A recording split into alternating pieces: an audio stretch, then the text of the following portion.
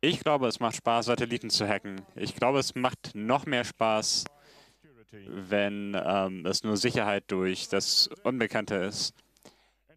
Ich möchte euch Seck und Schneider präsentieren. Sie sind ähm, Teil des. Münchner CCC. Seck arbeitet als Sicherheitsberater, aber ich glaube, er ist am besten bekannt für Hacker Jeopardy, das er schon seit mehr als einem Jahrzehnt macht. Und natürlich das Radio. And Schneider is an awesome developer Und Schneider ist ein toller Hardware- und Softwareentwickler. Wer von euch war beim Camp und hat den Talk über das Radio Badge da gesehen? and who has seen the Iridium talk on 31C3? Und wer hat den Iridium-Vortrag auf dem 31C3 gesehen? Noch mehr Leute. Und wer hatte gar keine Updates über Iridium? Okay, so without further ado, here is Also, ohne Firlefanz, hier ist euer Iridium-Update. Ja, herzlich willkommen. Ihr hört die deutsche Übersetzung des Vortrags Ir- Iridium-Updates auf dem 32. Chaos Communication Congress. Hallo und äh, schön, dass ihr da seid zu dieser Auflage des Iridium-Updates. Ähm, unser Slot ist jetzt doppelt so lang wie letztes Jahr und wir haben aber auch den ähm, Inhalt deutlich er erweitert. Letztes Jahr haben wir uns ein paar Iridium-Geräte zum Spiel geholt. Modems hier ist eins, ein Telefon ein, mit einem Vertrag.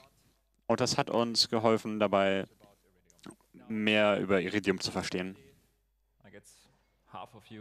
Ich schätze, die Hälfte von euch hat keinen unserer Iridium-Vorträge vorher gesehen. Iridium ist ein globales Satellitennetzwerk, das aus Satelliten im äh, niedrigen Orbit gebaut wird, ähm, aus, gemacht ist.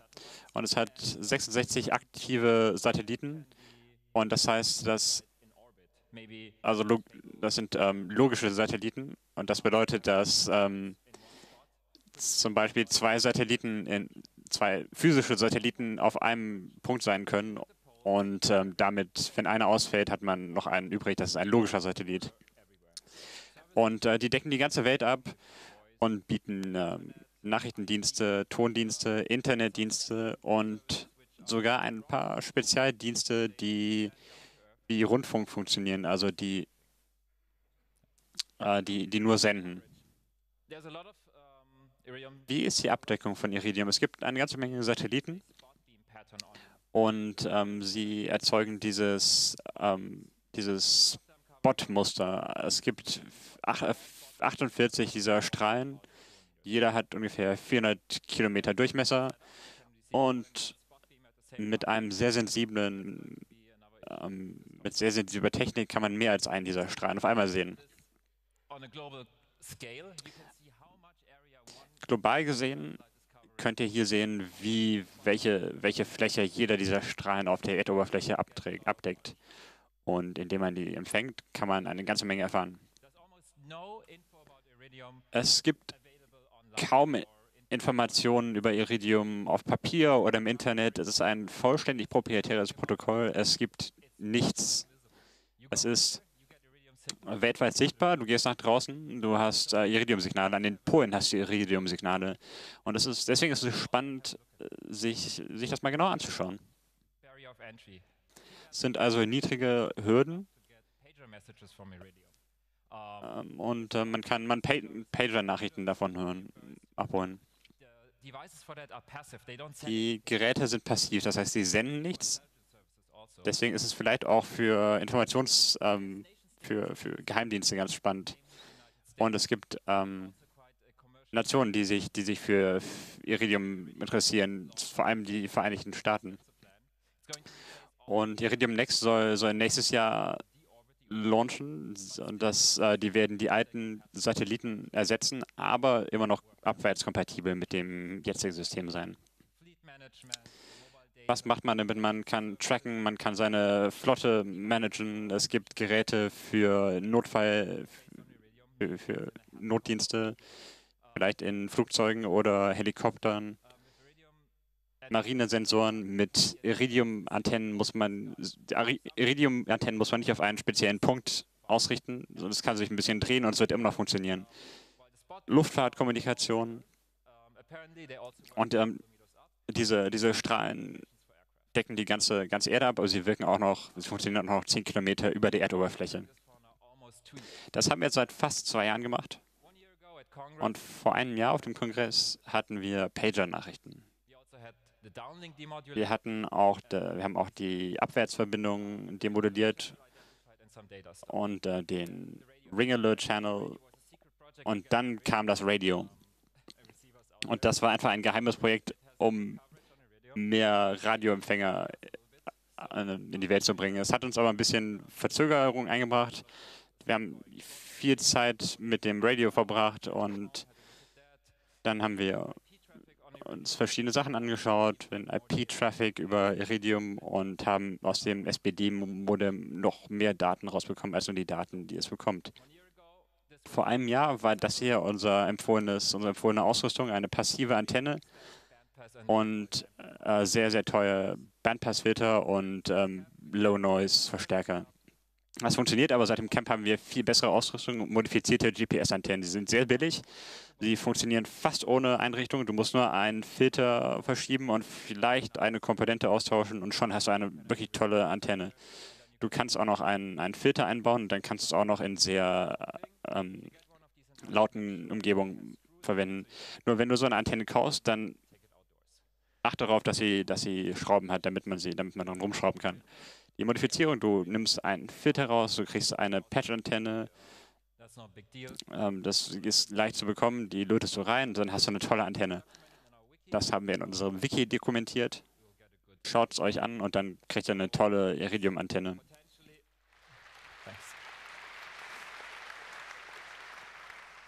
Was hier noch ein bisschen fehlt, wenn man in einer Stadt ist, wenn viel GSM in der Umgebung ist, dann möchte man eventuell noch einen Iridium-Filter einbauen.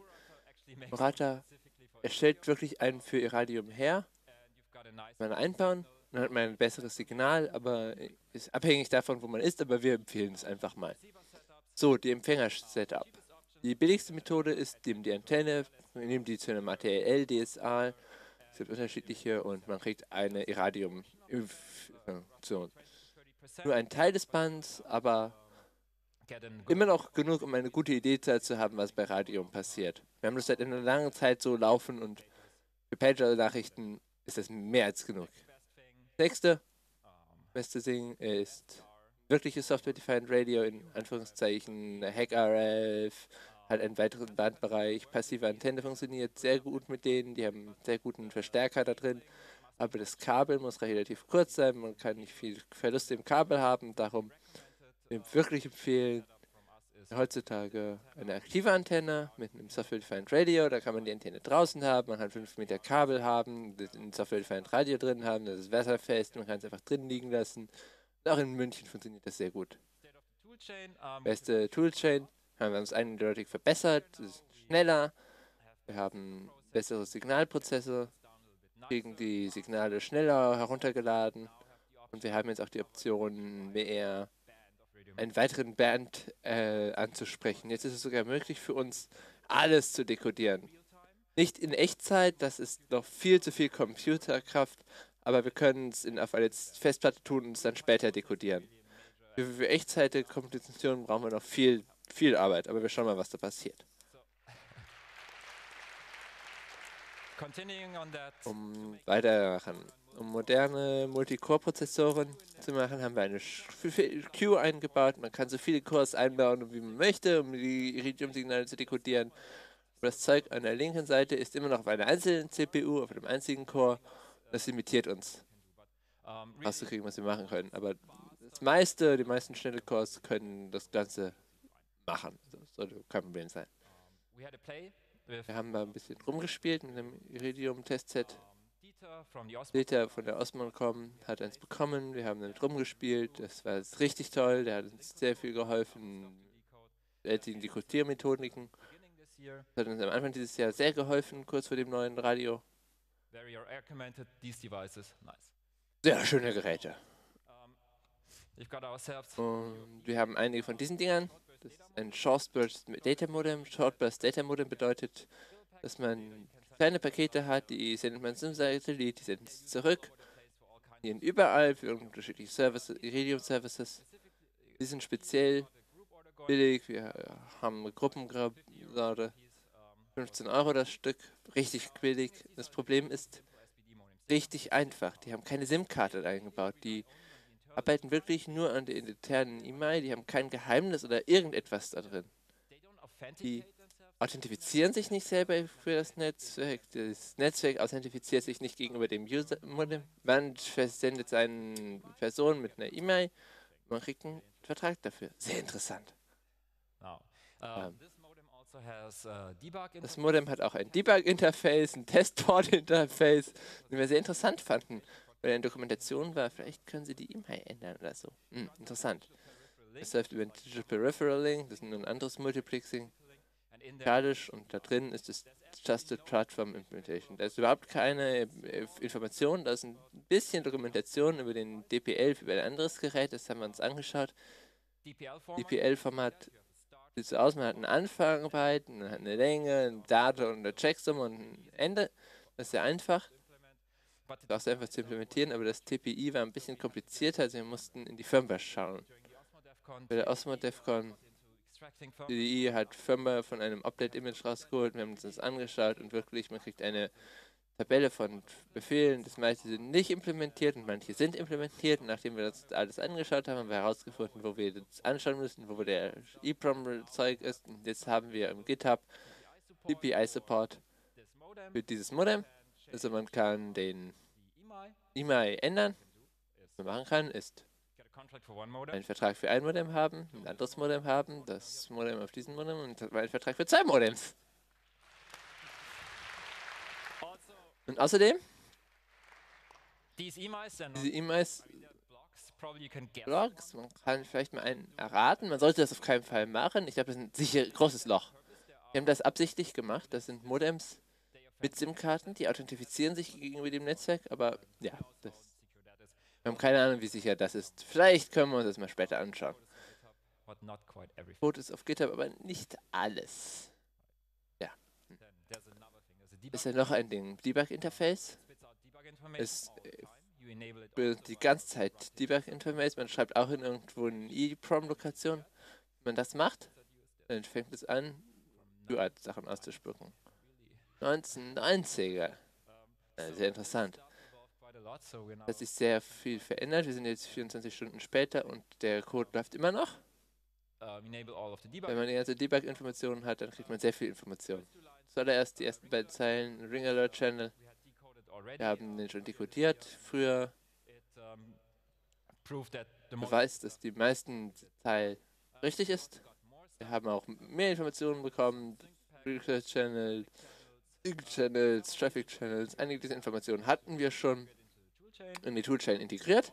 Natürlich noch nicht alle, aber das sind, diese Firmware ist richtig Richtig sehr interessantes Ding, um sich anzuschauen. Pakete. Iridium hat 10,5 MHz Datenband und 8,5 MHz werden davon wirklich benutzt. Wir sehen ungefähr 2000 Bursts pro Sekunde im Durchschnitt. Wir dekodieren ungefähr 1200 Frames pro Sekunde. Äh, Frames, äh, Iridium Frames und 80% von denen haben keine großen Fehler können wir sie ein bisschen dekodieren, zumindest kategorisieren. Wenn man sich das anschaut, dann ist hier ein 4 Minuten Intervall bei auf Iridium. Das ganze Band, die sind ungefähr 400.000 Pakete, bei 100.000 Pakete. Sehr viel passiert da. Und da oben sieht man die Pager-Channel. Alle 20 Sekunden, ein kleiner Burst, ein Ring-Alert-Channel, der ist fast immer aktiv. Datenchannels und Broadcast-Channels und mehr von diesem Zeug.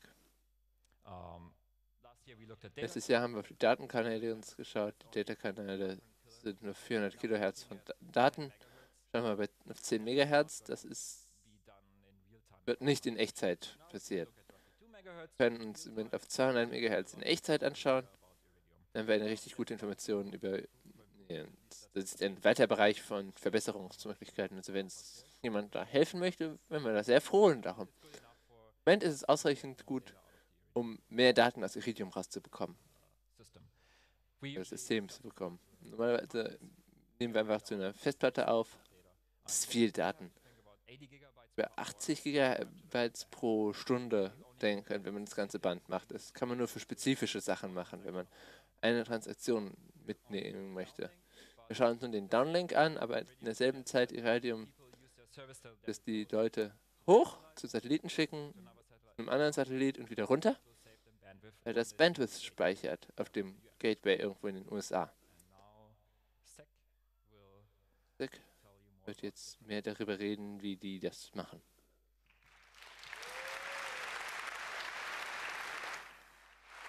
Thank you. Um, Danke. we're uh, Jetzt schauen wir uns ein bisschen an, uh, from was äh, aus, von den Satelliten runterkommt. already know. Ein bisschen davon wissen wir schon. This is the overview of the. of Das ist eine Übersicht der Pakete. Schneider hat euch das schon erzählt. Die kleinen Sachen oben ist der Pager-Kanal, wo die ganzen Pager-Nachrichten kommen. Das war, das haben wir in unserem letzten letztjährigen Talk schon besprochen. Danach kommt der Ring Alert Channel und den Rest haben wir kategorisiert. Blau sind zum Beispiel Broadcasting. Interessanterweise werden nicht alle Frequenzen gleichzeitig benutzt, aber es gibt äh, Veränderungen über die Zeit. Und dann haben wir so Sachen wie IP-Pakete, streams. Uh, ähm, Streams von, von äh, Sprachpaketen und andere Datenpakete. them. Und jetzt schauen wir uns die eins nach dem anderen an. Das erste ist das Pager-Nachrichten, sind die Pager-Nachrichten-Frames. Die fangen mit einem einzigartigen Muster an. Das ist ähm, Hex 9669 als Binary Shift Key. Und unsere Toolchain kann sie dekodieren. Und das ist, glaube ich, die Nachricht, die wir letztes Jahr benutzt haben. Die ist nicht sehr spannend. Wir haben sie einfach dort zum Testen verwendet. Da muss man nicht viel drüber sagen. Ich glaube, das ist mehr oder weniger vollständig gelöst. Oh Was ich noch sagen wollte, Iridium will nicht wirklich, dass du das noch benutzt. Also Iridium sagt, ja, wenn, wenn du irgendwo einen Pager auftreiben kannst, dann werden wir den noch unterstützen, aber du, wir werden dir nicht dabei helfen. Das macht es vielleicht ein bisschen teuer, aber sie werden immer noch gebraucht. Also es gibt noch eine ganze Menge Nachrichten. Dann gibt es Ring Alert Frames. Wir können sie nicht identifizieren, indem wir sie alleine anschauen, sondern wir können sie anhand des Frequenzbands identifizieren. Das ist so ein bisschen, das müssen wir so ein bisschen schätzen, wo der beste Punkt ist, um sie abzuschneiden. Ähm, das Format können wir zum größten Teil so kennen wir aus, aus unserem Rumspiel mit dem Rackal-Dings und Dieter hat ähm, uns ganz hat uns sehr geholfen, indem er die äh, Firmware rückwärts äh, rückingeniert hat. Äh, wir haben da auch einen Talk auf dem auf dem Camp gegeben. Die Frames sahen so aus und sie enthalten vor allem Informationen über den aktuellen Satelliten und den aktuellen Strahl, den du, den du gerade siehst. Dann enthalten sie die Position, die Wechsel zwischen der Position des Satelliten und dem Stand, dem Punkt, wo der Strahl, den, dem du dich gerade befindest, auf die Erde triffst. Das heißt, man könnte es für die Positionsbestimmung benutzen, aber dafür ist es wirklich zu grobkörnig. the, the pages. So Und ähm, dann enthält es auch die, die Pages. Also wenn das Netzwerk will, dass ähm, das Device, dass das Gerät mit dem Netzwerk spricht, dann schickt es so eine Page-Nachricht, aber leider ist das eine TIMSI, also eine vorübergehende Identität. Wir können euch also nicht wirklich sagen, welches Gerät es ist. Wir wollen uns das anschauen, wir wollen uns genauer anschauen, wie, wie das miteinander verbunden ist, aber wir hatten da noch keine Zeit für. ring alert channel sends the Wenn der Ring Alert Channel die äh, die ID sendet, dann seht ihr, ähm, welche Strahlen wir, wir sehen, während der, der Strahl über unser Ge Gebiet läuft. Ihr könnt die, das Rauschen sehen, ihr könnt auch verschiedene Strahlen auf einmal sehen. Um, the next slide. Um, the next part of Der nächste Teil der, dieser Paketfamilie sind die Broadcast Frames. Die identifizieren wir durch eine Checksumme, eine Prüfsumme, eine BCH-Prüfsumme. Das Polymi Polynomial ist 1207, was die umgekehrten Bits der, der Nachrichtenpakete, des Nachrichtenpaketschutzes ist. Ich weiß nicht genau warum, aber es hilft uns auf jeden Fall, die Pakete zu unterscheiden. Und die meisten Informationen darüber sind aus der Raka Testset Firmware. Auch die haben wir euch ganz kurz auf dem Camp gezeigt. Die sehen so aus und sie enthalten Informationen über das Netzwerk, in denen äh, das Gerät, äh, das Netzwerk den Geräten sagt, welches, äh, welchen Frequenzabstand sie haben und welches, welchen Zeitabstand sie haben, um die zu korrigieren und welche Leistung sie erhalten, damit sie die anpassen können. Aber da, da konzentrieren wir uns gerade nicht so drauf, weil das langweilig ist. Und das geht die Interne des Netzwerkes an. Die interessanten Sachen sind die Datenframes und die können wir identifizieren, weil sie ein ähm, gültiges Link-Control-Wort haben am Anfang. Also das sind ähm, Bits, die äh, durch BCH-Prüfsummen geschützt sind, aber bevor du zu diesen Bits kommst, musst du sie neu sortieren.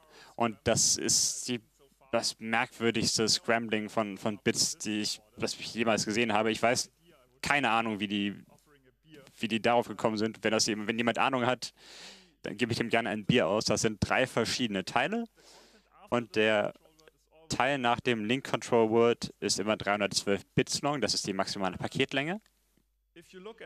Und wenn ihr euch das ähm, entscrambelte Link Control Word anschaut, dann sind diese drei Teile durch jeweils unterschiedliche Prüfsummen geschützt. 29 and the before Das erste hat irgendwie ein Polynom 2,9 und so weiter. Das Interessante ist, dass, das, dass der mittlere Teil des Kontrollwortes ein Bit zu wenig hat. Zum Glück kann die Prüfsumme Bitfehler korrigieren. Deswegen wirst du in der Hälfte der Pakete ähm, Bitfehler erwarten, ähm, einfach weil sie keinen keinen Platz dafür hatten und dann haben sie es einfach fallen gelassen. Der erste Teil des Link-Kontrollwortes ist drei Bits long. Das gibt uns acht Möglichkeiten. Das ist der Untertyp des Datenframes. Den können wir nutzen, um das Paket und einzelne Pakete zu unterscheiden. Der zweite und dritte Teil, der enthält weitere, weitere Netzwerkinformationen über die wir aus dem TPI Debug-Code äh, benutzt haben. Aber das interessiert uns nicht so sehr, dieser ganze Netzwerkverwaltungskram. Und äh, deswegen schauen wir uns jetzt die Subtypen an.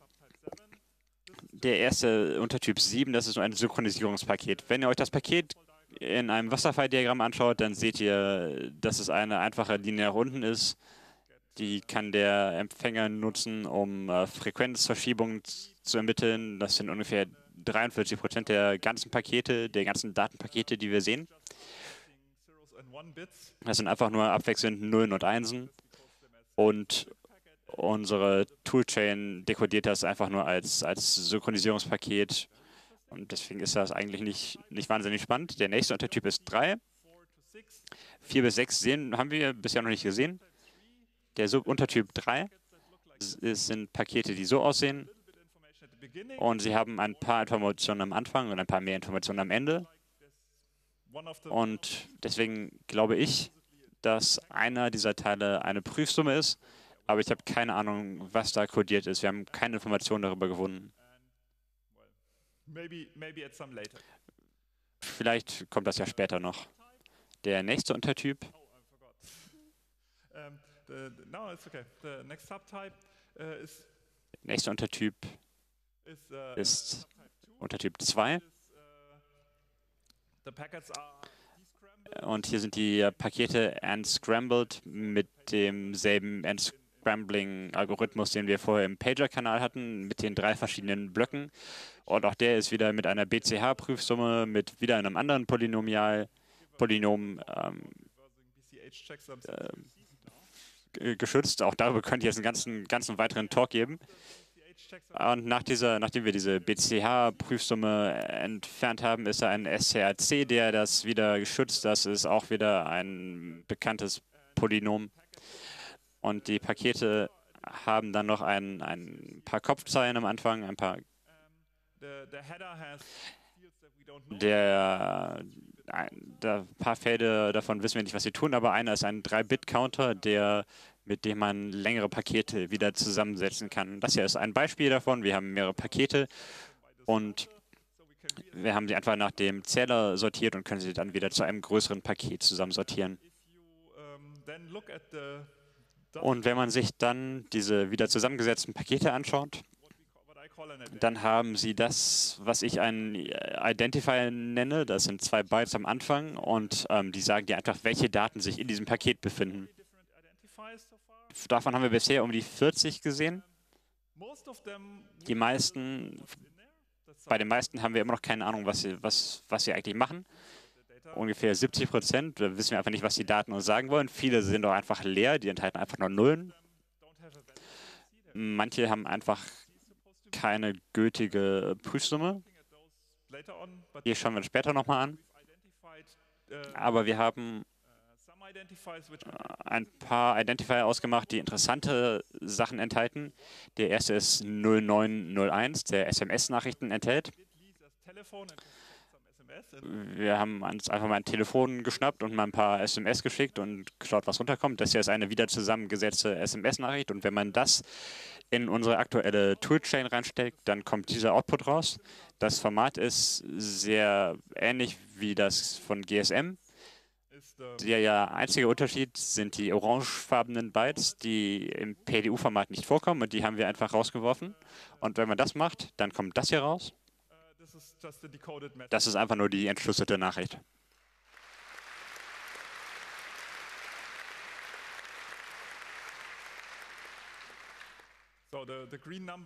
Die grünen Zahlen, das eine ist die SMS-Zentralnummer und das andere ist die Senderzahl, die Zahl des Absenders, äh, die Nummer des Absenders.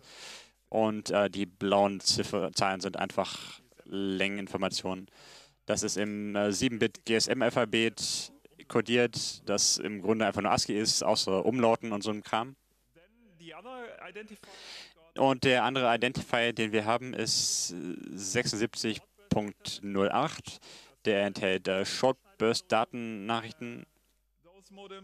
Und diese Modems, SPD-Nachrichten selbst können laut Spezifikation 1960 oder 1890 Bytes lang sind, je nachdem, ob sie von einem Modem kommen oder von einem Modem empfangen wurden. Aber das, was wir haben, kann Nachrichten nur bis 340 oder 270 Byte schicken, aber das ist immer noch länger als das, was der zusammengesetzte 3-Bit-Counter gibt. Das heißt, wir müssen die auf eine andere Art wieder zusammensetzen können. Und dann gibt es SPD-Nachrichten, wenn man die schicken will, dann ist, das ist die Schnittstelle sehr einfach. Ihr schickt einfach nur eine E-Mail an data.spd.iridium.com und ähm, in dem Betreffzeile kommt die E-Mail des ähm, Empfängers. Man kann aber auch einen Vertrag haben, in dem man es einfach über TCP an einen IP-Port schickt. Das funktioniert in beide Richtungen. Das heißt, ihr könnt es vom Modem zu eurem Computer senden oder in die andere Richtung, aber Iridium. Ja, es gibt es gibt Dokumentation darüber, aber es gibt eine Firewall, die von eurer IP abhängt. Das heißt, ihr könnt nicht einfach Sachen an irgendwelche SPD-Modems schicken. Viele Anwendungen, die wir gesehen haben, benutzen wahrscheinlich den Transfer von einem SPD-Modem zu einem SPD-Modem. Weil wir uns nur den Downlink anschauen, dann können wir uns diese Nachrichten immer noch, können wir die Nachrichten immer noch sehen, wenn sie zu einem anderen Modem runterkommen. Und das kostet ungefähr 1 Dollar pro Kilobyte, was mich ein bisschen an, die, an das Internet der 90er erinnert. Wir haben eine Beispiel-SPD-Nachricht, die nicht sehr interessant ist. Sie sieht so aus, wenn ihr sie durch eure, unsere Toolchain schickt. Die enthält eine ganze Menge Nullerbytes, weil das ein Teil unserer Nachricht war. Ähm, ja, die und äh, die Nutzen, die wir dafür gefund, gefunden haben, sind äh, Sachen wie zum Beispiel Bojen für die äh, Thunfischfischerei oder alleinstehende GPS-Tracker, die einfach nur die einfach nur S GPS äh, über SPD senden und dieses äh, bewegte Kartensystem, das von Hubschraubern des ADAC verwendet wird, die dem Piloten sagen, wo der nächste Notfall sich ereignet hat. two Wir haben noch zwei weitere Subtypen, die wir wissen. Subtype 1 Pakete sind 4-bit mit einer 24 Frame Checksum gesichert, wenn es noch ein PCBs Polynomial, das man gefunden hat, das gefunden hat, dann stellt man fest, oh, das ist genau dasselbe, was GSM benutzt. Der Header der Pakete benutzt einen 8-Bit-Counter, so you can reassemble more packets. kann mehrere Pakete zusammen zusammenschicken und die Rohdaten sind bit-reversed, also man muss sie alle umdrehen und wenn man sich das anschaut, dann vielleicht können das ein paar von euch erkennen, wie das aussieht. Also ansonsten könnte das in Jeopardy-Quest-Frage gewesen sein. Auf der nächsten. Ja, es ist PPT.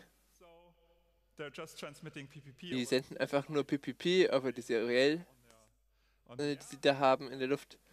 Das kann auch Multilink PPP machen und das kann auch Telenet senden. Eine Telenet, einfach nur Bytes. Luckily glücklicherweise unterstützt Wireshark PPP File-Format und wir haben das ausprobiert mit unterschiedlichen Funktionen und wir haben das in Wireshark reingetan und ja, wir können den Request sehen. Wireshark ist ein bisschen komisch, dass ja die Hälfte der Verbindung uns fehlt, aber das ist kein Problem. Größere Problem davon ist, auf der nächsten Zeile ist, niemand benutzt Linux. Windows also benutzt auch PPT. Das benutzt aber auch den Microsoft Point-to-Point Kompressionsprotokoll. Das Microsoft Point-to-Point Compression Protokoll hat ein Problem. Wireshark kann es nicht dekodieren. Das ist einfach nur kompressierte Daten. Also habe ich nachgeschaut und warum ist diese Zeile hier? Eine, weit- eine eins weitergehen. The Microsoft PPT-Kompression ist nicht so kompliziert. Es ist ein äh, Request for Comment dafür. Es ist ein einfacher Algorithmus. Aber es muss nicht jemand gemacht haben. Wir haben bis jetzt noch keine Zeit dazu gehabt. Vielleicht kann das jemand machen. Ansonsten müssen wir es im nächsten Jahr machen. Das andere Zeug, was wir gesehen haben, vielleicht können Sie sich daran erinnern, in Blobs führen in IPs. Das sind wahrscheinlich Multilink-PPPs. Wir haben bis zu 14 Kanäle, die gleichzeitig online sind. Wir haben uns noch nicht wirklich anschauen können, was da wirklich läuft. Aber möglicherweise viel Verkehr.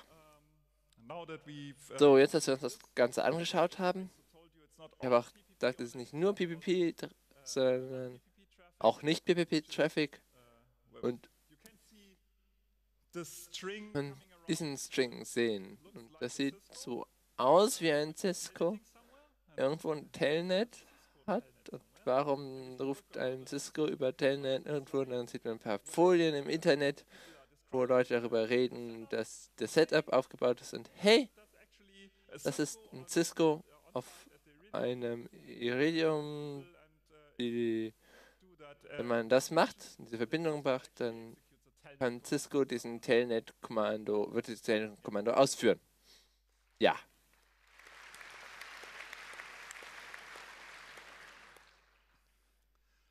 and uh, the last subtype Der letzte Untertyp, den wir haben, ist der Untertyp 0.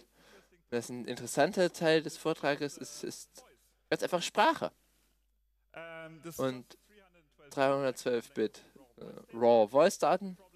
Das Problem ist, voice codec ein MBE Voice Codec, und der ist komplett undokumentiert. Das hat eine sehr geringe Bitrate. Und wir haben keine Ahnung, was der macht. Keine Ahnung. Wir haben verschiedene Optionen angeschaut. Und die erste Option war, vielleicht können uns Leute für uns machen. Und glücklicherweise MB ist eine Family von Codices und äh, jemand hat eine große Arbeit gemacht und einem ähnlichen MB, MB Codec und Sie können den, seinen Vortrag vom letzten Jahr sich anschauen. Wir haben ein paar Beispieldateien geschickt und in einer Rekordzeit haben wir die erste Version eines Decoders zurückbekommen für Radios Voice Sprachframes und der veröffentlicht seine Daten für diesen Kongress. Das ist das Repository, sollte heutzutage anruf, aufrufbar sein. Es ist sehr schnell, hat sehr gute Qualität. Also nicht perfekt, aber gute Qualität.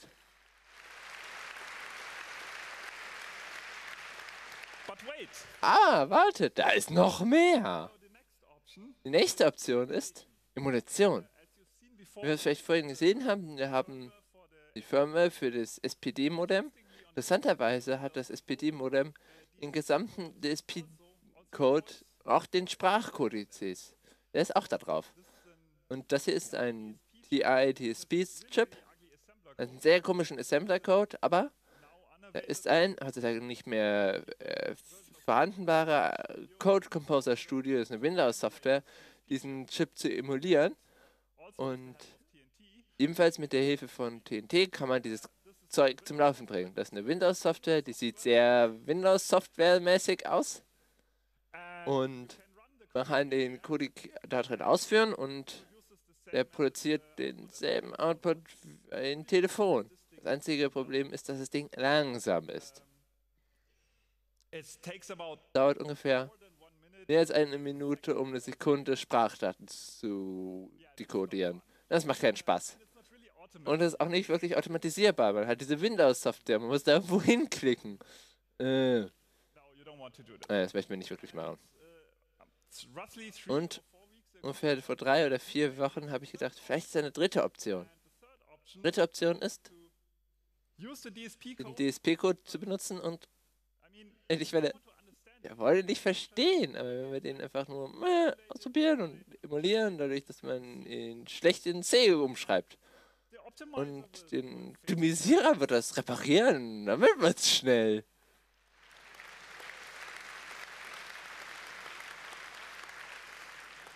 Ja, da ist Dokumentation für diesen Chip. Die CPU deklariert dann die Opcodes und dann schreibt man nur ein kleines Perl-Skript, das oh, zum Teil so aussieht. Das nimmt den Object-Dump-Output, Assembler code. Assembler-Code drin hat und dann Teile, C-Teile und schmackt die in eine Datei und dann macht man seinen Compiler und hey, wir haben eine Option, die bitperfekt dekodiert und das läuft richtig schnell. Optimal, der Optimisierer macht da alles. Is Einzige Problem dabei ist, man braucht DSP-Quellcode dafür. Also ist nicht wirklich frei. Wir können nicht weiter veröffentlichen. Ich vermute, dass niemand wirklich sich darüber kümmert, aber ich möchte es nicht riskieren. Aber die Firmware-Updates für die SPD-Modems sind frei im Internet verfügbar. Also ein kleines Shell-Skript, das die runterlädt und da den Compiler jagt und dann hat man einen vollkommen funktionsfähigen Dekodierer da drin. Ich habe das jetzt noch nicht geschrieben, aber bald wird es da sein. Wenn nicht, dann fragt mich einfach, dann werde ich es machen. Jetzt haben wir einen sehr guten Voice Recording. Und wir wollen es euch zeigen. Also haben wir eine Demo. So, wo ist jetzt die Demo hin?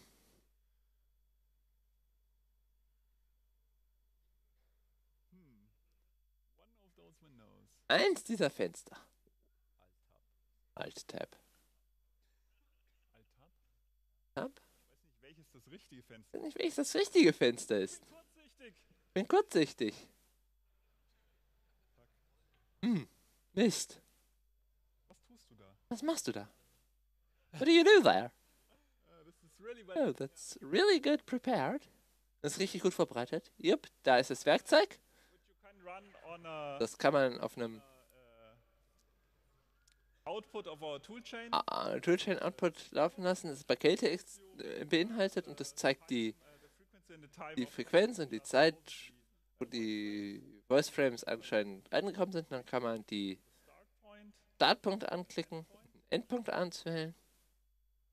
You have 509 minutes and 40 seconds left for this call. Please dial or text 2888 for more account information. Please wait while your call is connected. Und das sind jetzt irgendwelche äh, Standardansage.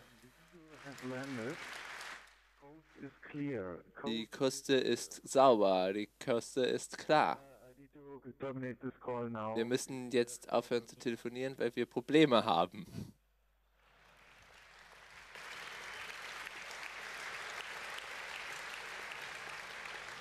Needless to say, this was Und man muss jetzt nicht sagen, es wurde von diesem Telefon aufgerufen, wurde von einem ähm, CCC-Member gemacht, also keine rechtlichen Probleme dabei.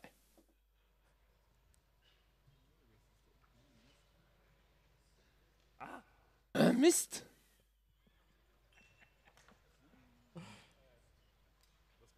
Shift F5. Hallo? Groß F5. Ah.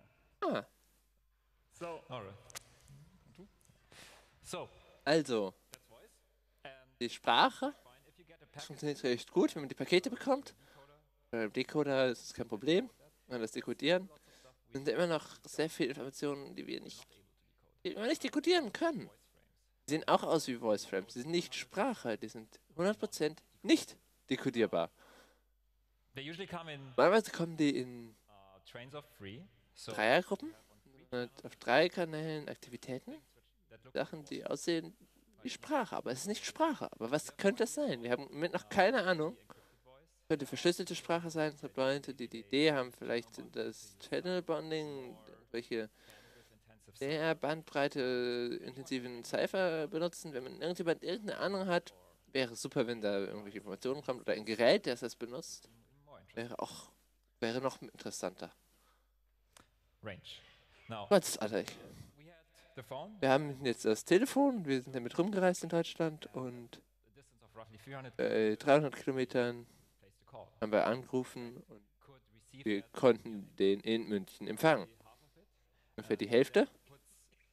Das bedeutet, diesem Kreis um München können wir die Iridiums-Anrufe empfangen. Das ist ein ziemlich großer Bereich.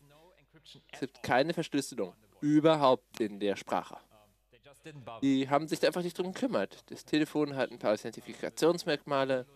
Normalerweise irgendwelche GSM-Module aus den 90ern. Ja, äh, cool. Aber die Sprache ist absolut nicht verschlüsselt. Also man kann sich wetten, dass nicht nur die USA dazu hört, sondern auch alle anderen Leute. Also einfach, ja. Wisst das. Diese Sachen sind auch öffentlich verhältlich. Wir haben drei Verkäufer, die solche Sachen verkaufen. Wahrscheinlich nur zu Government, also zu, zu Regierungsorganisationen und ähm, anderen. Keine Ahnung. Ja, wenn man es wirklich haben möchte, dann kriegt man sie wahrscheinlich. So, our plans. Unsere Pläne für die Zukunft. Momentan, wenn man dieses Telefon nimmt und ähm, einen Anruf absetzt, dann bekommen wir das, was vom Satelliten runterkommt. Der Uplink hat eine etwas andere Modulierung. Wir dachten zuerst, alles andere wäre gleich, aber das haben wir uns noch nicht genau angeschaut. Das sollte nicht so schwierig sein. Wir brauchen noch ein bisschen Zeit dafür. Dann gibt es das GSM-Tab für Wireshark. Das ist eine nette Oberfläche. Man kann einfach sein eigenes Protokoll da einbauen und das äh, dekodieren. Das wäre wirklich schön und da arbeiten wir auch schon dran, damit man dann in Wireshark eine schöne Ansicht haben kann und filtern kann, was im Netzwerk passiert. Unbekannte Pakete dekodieren. Da passiert eine ganze Menge mit äh, den Untertypen 2 und 0, von denen wir noch nicht wissen, was sie sind. Der begrenzende Faktor da sind Geräte. Und damit kommen wir zum nächsten Punkt. Wir müssen, wir brauchen mehr Geräte. Wir haben ein paar in unserer, äh, paar Leute in unserer Liste, die sich das anschauen. Denn wenn man ein Gerät hat, ist das die einfachste Weise herauszufinden, was passiert. Man weiß, eines der Pakete ist deins und dann kann man das inspizieren und eigene Daten senden und das macht es viel, viel einfacher. Und dann äh, Signalübergabe und Authentifizierung, da haben- das haben wir uns noch nicht angeschaut, das braucht man aber auch kaum. Aber es ist ganz interessant, zum Beispiel für diese Telefone, die schauen nämlich die ganze Zeit, welche Satelliten verfügbar sind und wählen dann aus, welchen Satelliten sie benutzen wollen. Also sie übernehmen die Übergabe und das wollen wir uns genauer anschauen. Von der Firmware können wir noch eine ganze Menge lernen. Wir haben bisher vielleicht ungefähr eine, äh, 10% davon rückentwickelt. Vielleicht kann man da auch noch was machen. Performance, da gibt es auch noch viel zu tun. GitHub. Der Code liegt auf GitHub, fast alles, vielleicht ein, ein paar Teile noch nicht da, damit die ganze Toolchain wirklich sauber funktioniert. Wenn ihr das merkt, dann nervt uns im IRC und dann schauen wir mal, ob da noch, noch irgendwo was fehlt. Aber insgesamt sind, die, sind alle Informationen, die wir heute gezeigt haben, öffentlich und befinden sich im Repository. Wir suchen nach Spezifizierungen. Das sind tatsächlich Produkte, Iridium Go, irgendwelche SPD-Geräte. Wenn ihr irgendwie, wenn ihr darauf Zugriff habt und sie uns äh, für, für zwei Wochen leihen könnt, das wäre wirklich toll. Und dann gibt es auch noch Iridium Bursts, die vielleicht ein paar von den Pager ersetzen können, modifizierte Modems, die einfach nur passiv sind und einfach nur sagen, hey Iridium, schickt diese Nachricht an die USA oder an, den, an die ganze Welt und dann werden diese Modems diese Nachrichten empfangen und das kann man nicht merken und wir haben da ein paar Ideen. Wir sehen die auf der ganzen, auf der ganzen Welt, die Dinger, das gleiche Format, vielleicht verschlüsselt, aber vielleicht nur irgendwie zusammengefriemelt, vielleicht nur irgendwie eine zusammengefriemelte Codierung. Das wird also wirklich spannend. Und nochmal danke an äh, TNT, Difference und FM. Das äh, waren wirklich inspirierende Leute und danke an die Osmocom-Leute. Vielen Dank.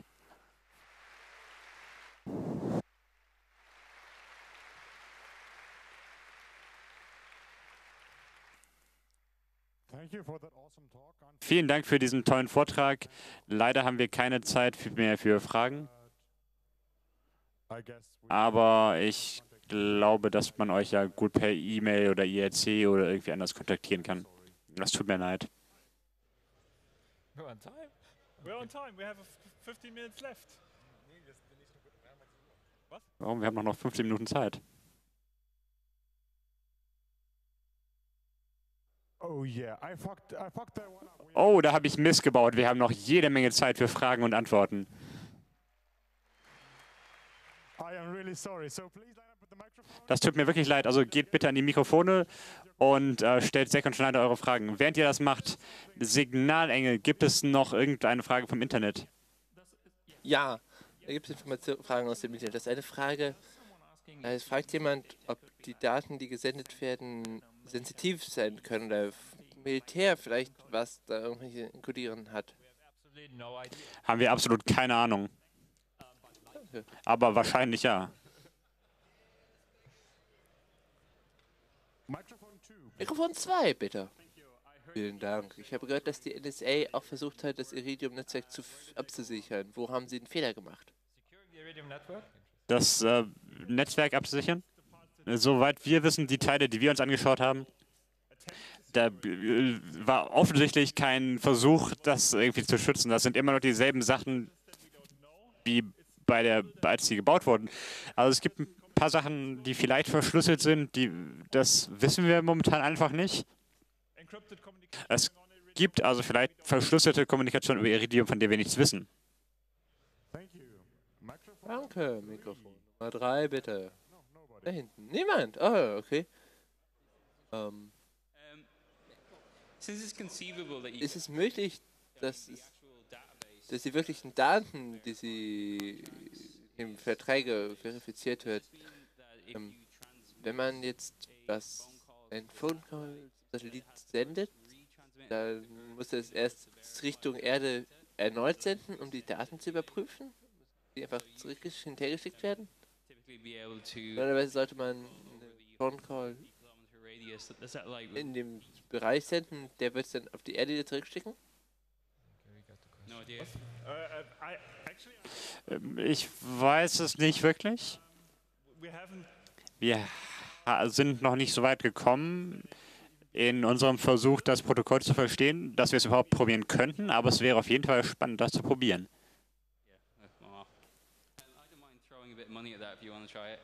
Also ich würde das gerne mal ausprobieren, würde auch Geld dafür ausgeben.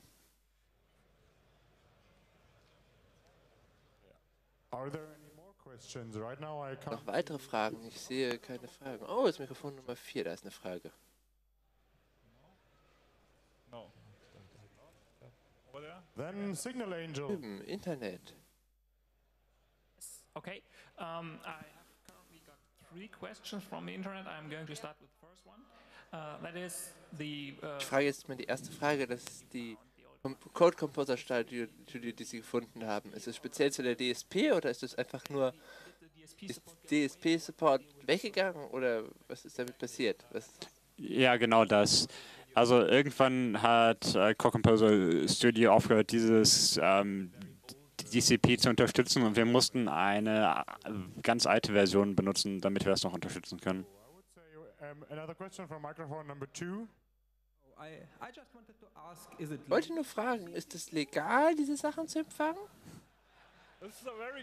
Oh, das ist eine sehr gute Frage. Ich ähm, gebe dich mal weiter an die. Ich, ich gebe dir mal die Weltraumtheorie.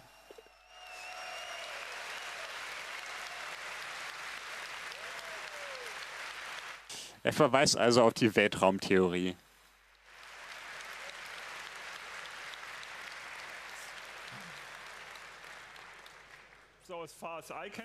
Also soweit ich weiß, gibt es kein Problem.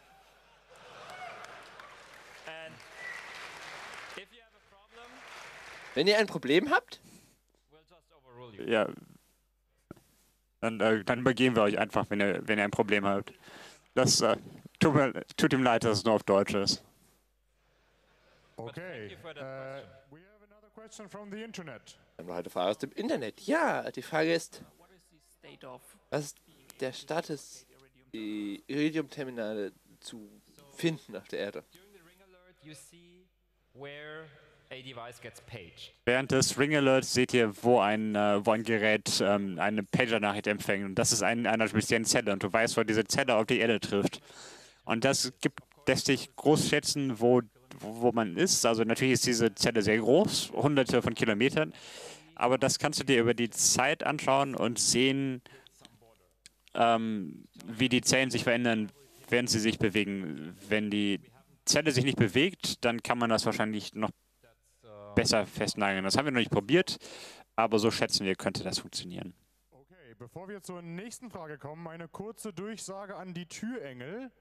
Der Saal ist voll. Liebe Türengel, bitte lasst niemanden mehr rein.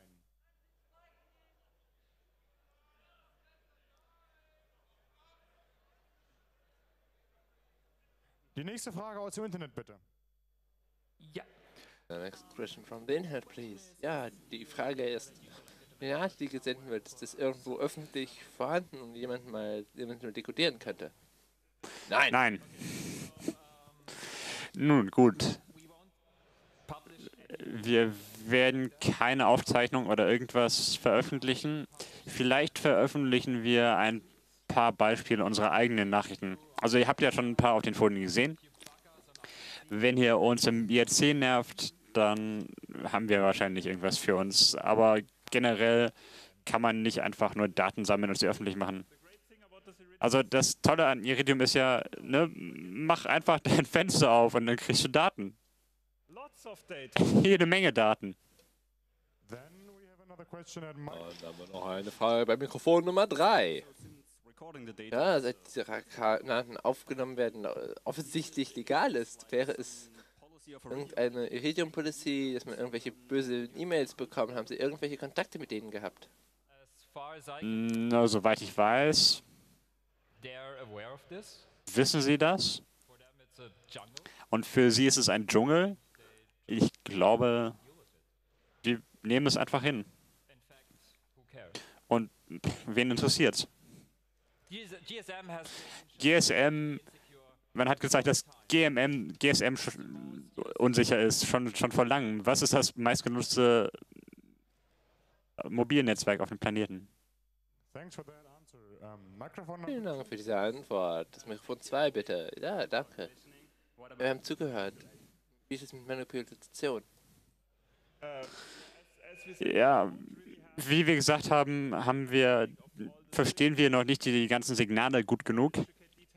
Und äh, genauere Details der Übergabe und allem. Wir haben uns das noch nicht wirklich angeschaut, weil die Daten, die wir haben, so spannend waren, dass wir unsere Zeit damit verbracht haben.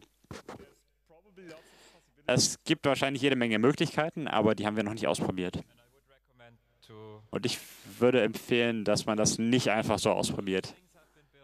Diese Sachen wurden am Anfang der 90er gebaut und ich weiß es nicht. Vielleicht, vielleicht kurz bevor die Satelliten wieder runtergeholt werden, kann man damit spielen, aber ich würde es nicht tun. Fragen aus dem Internet? Ja. Frage ist. Ja, da. question gone? Wo ist die Frage? Okay. Ah, da. Wenn jemand, jemand wollte wissen, ob sie, think you know sie glauben, ihr glaubt mehr als ihr habt, ob ihr schon mal gefragt wurdet. Nein, wir wurden nicht befehligt. Nicht. Haben, haben, haben wir nicht bekommen. Wir haben keine, wir haben keine Kontakte mit irgendjemandem von Iridium oder von irgendwelchen, von irgendwelchen Gesetzeshütern. Ich habe mal die Logs meines Web-Servers angeschaut und die Iridium-Server haben uns ein paar Dateien meines, meines Servers angeschaut. Und ich hatte ein bisschen Angst, aber dann habe ich festgestellt, oh nein, das war ja ich, der das über, über das Telefon gemacht hat und Sachen runtergeladen hat. Okay, then microphone number two. Von zwei, bitte. Microphone angel. Okay. Von Ingenieur. Ah. Keine Fragen von der Person? Internet, bitte. Hallo, ja, das Internet möchte wissen. Ablenkstationen sind vorhanden. Es gibt eine für zivile Nutzung und eine für militärische Nutzung. Das ist, sagen zumindest die öffentlichen Informationen. Und noch eine, von der wir nicht genau wissen, was sie wirklich tut, aber es ist nahe dem Pol. Es gab in der Vergangenheit viel mehr, als sie, als sie Sachen gebaut haben. Also zum Beispiel einen in Japan, aber laut Dokumentation sind die alle inaktiv. Und ihr müsst wissen, dass Iridium am Anfang der 2000er bankrott ging und da haben sie das Ganze deutlich zurückge zurückgeschraubt, um es kosteneffizienter zu machen. Also manchmal findet man Iridium Gateways, aber die sind alle außer Betrieb. Also ich weiß nicht, was sie heute machen. Noch eine Frage aus dem Internet? Uh, Ja, soweit ich weiß, haben wir keine Frage aus dem Internet. Toll. Also for eine Jack and Schneider. Runden Applaus für Jack und Schneider. Und auch wir bedanken für Ihre Aufmerksamkeit. Sie haben jetzt einen Vortrag über